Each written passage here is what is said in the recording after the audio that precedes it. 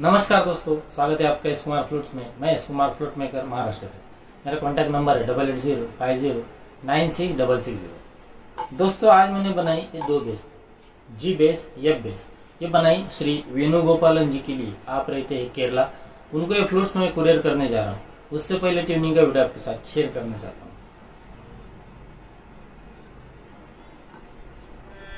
जी base